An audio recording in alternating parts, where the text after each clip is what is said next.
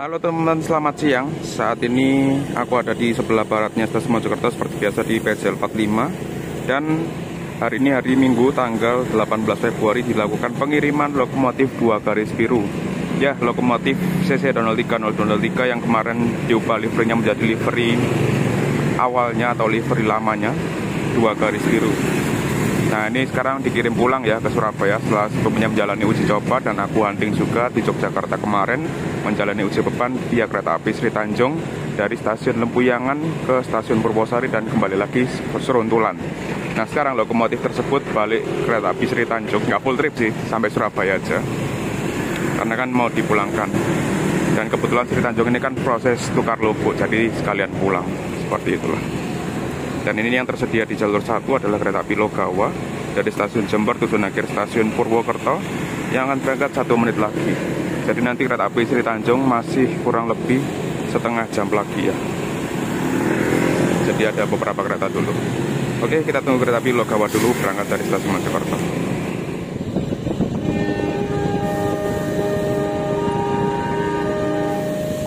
Wih, hongeng dong.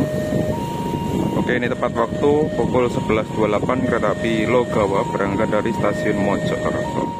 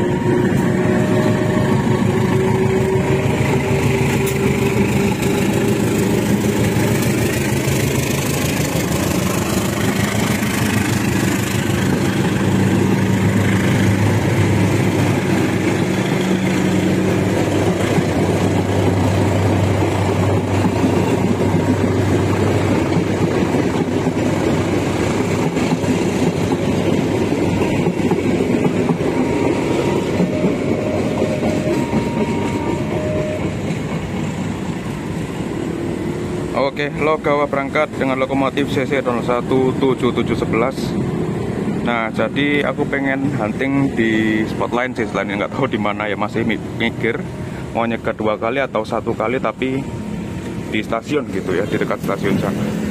Ya lihat aja nanti deh nyegatnya di mana. Oke, ini masih di PCL 45. Kereta Sanjaka udah masuk nih. Kayaknya mau ke stasiun aja deh. Di sebelah timur sana ya seperti biasa.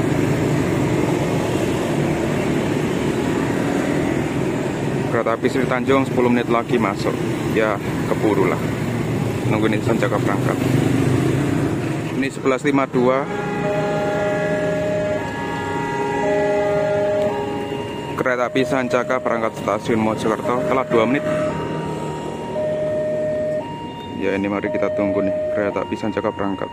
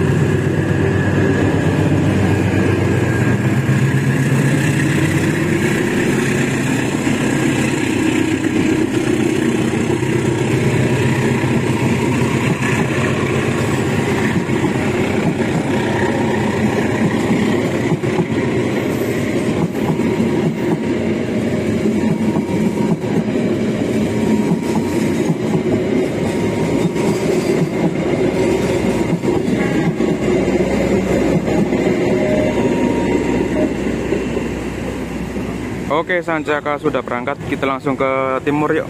Takutnya nanti nggak keburu nih. sama Sri Tanjung kalau misalkan kedua kali ya Oke sudah tiba di spot sebelah timurnya stasiun Mojokerto ini Sri Tanjung langsung masuk nih Nah ini dia lokomotif dua garis biru Nah itu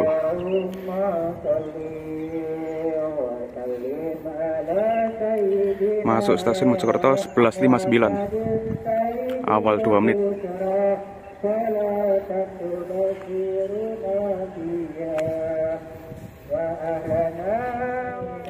Nah ini ya lokomotif dua garis biru. Jadi ini livery pertama dari CC03 kayak gini liverynya.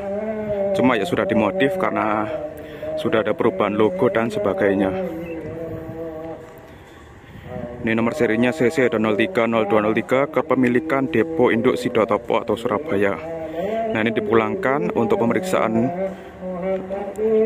di depo. Baru nanti didinaskan kereta api di sekitaran Surabaya. Apalagi kalau bukan kereta api lokal Doho Penataran.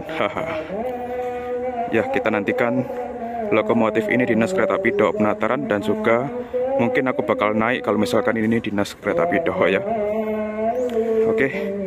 Sebentar lagi akan masuk kereta api Doho dari arah sana kereta api Doho dari Surabaya kota tujuan akhir Blitar. Kayaknya perlintasan sana udah nutup tuh. Kita tunggu keretanya masuk.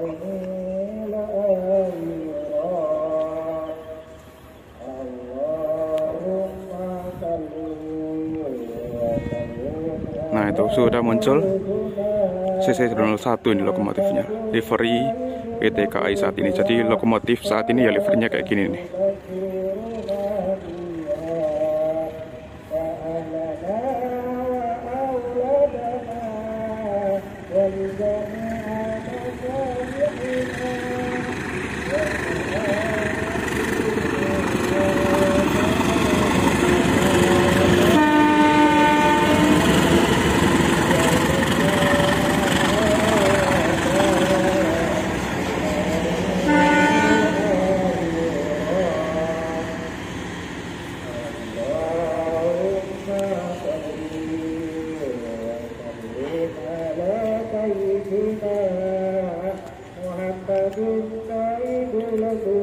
Oke, kereta api Doho dengan lokomotif CC 017707 itu lokomotifnya bisa kopong, teman-teman.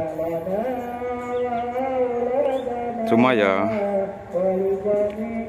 aku nggak nyekat berangkatnya, nyekat berangkatnya ini aja. Momen yang spesial nih CC 03 0203 dengan livery dua garis biru atau livery Kemenhub. Jadi yang kasih livery ini Kemenhub, Kementerian Perhubungan. Oke, kita tunggu kereta api Sri Tanjung berangkat. Jadwalnya masih 5 menit lagi.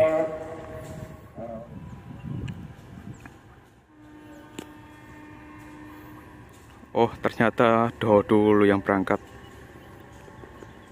Kirain ini dulu ya, Sri Tanjung dulu. Kayaknya selisih 2 menit dari kereta api Do berangkat, baru Sri Tanjung. Oke, mari kita tunggu keberangkatan kereta api Sri Tanjung dengan lokomotif dua garis biru.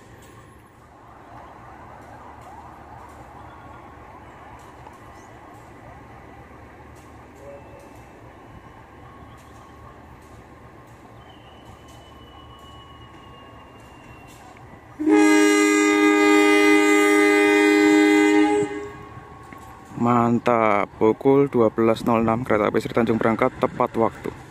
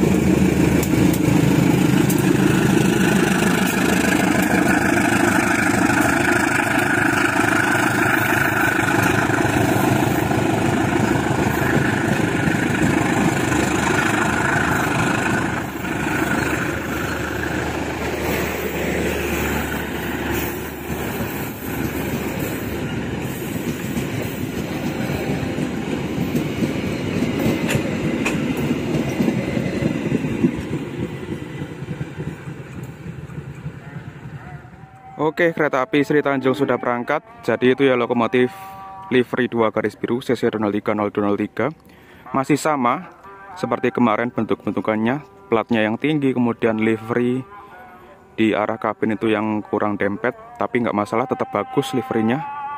Ya kita bersyukur diadakannya lagi livery lokomotif ini di era sekarang ini ya. Sudah ada lengkap nih livery lokomotif mulai dari vintage PCKA, kemudian RNB, kemudian dua garis biru ini, terus livery PT KAI sekarang. Jadi nggak perlu jauh-jauh ke Sumatera lagi ya buat nemuin livery kayak gini. Ya sebenarnya keinginan ke Sumatera bukan hanya karena itu sih. Kalau misalkan aku ya. Tapi lokomotif-lokomotif besar CC02, CC05 itu masih jadi daya tarik aku ingin ke Sumatera sana. Oke Rasanya kurang lebih seperti itu. Terima kasih sudah nonton video ini sampai selesai. Berburu kereta api Sri Tanjung yang memakai lokomotif dua garis biru CC 03 0203 yang dipulangkan ke Surabaya. Ya mungkin sebentar lagi akan berdinas di sekitaran Surabaya ini. Dinasan kereta api Doho ataupun Penataran. Oke, sampai jumpa di video selanjutnya.